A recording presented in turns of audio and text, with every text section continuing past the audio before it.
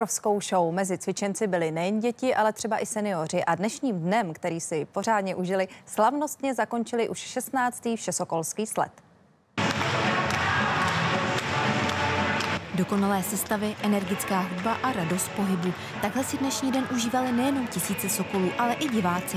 Některé sestavy totiž doslova vyrazily dech. Jsem na měko, no. Nádhera, všechno je, všechno je krásné. Já skládám klobouk dolů před lidma, kteří tohle vymysleli.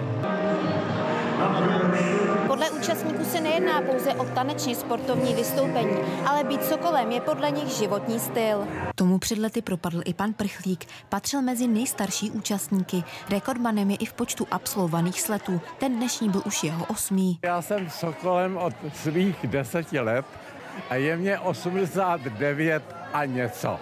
Tady vidíme národ, jak vypadá. Jsou to nejrůznější osobnosti od dětí až po nás seniory, ale všichni držíme pohromadě. Tady v Edenském stadionu dnes za doprovodu rodičů vystoupily i předškolní děti. Ty byly vůbec nejmladšími účastníky.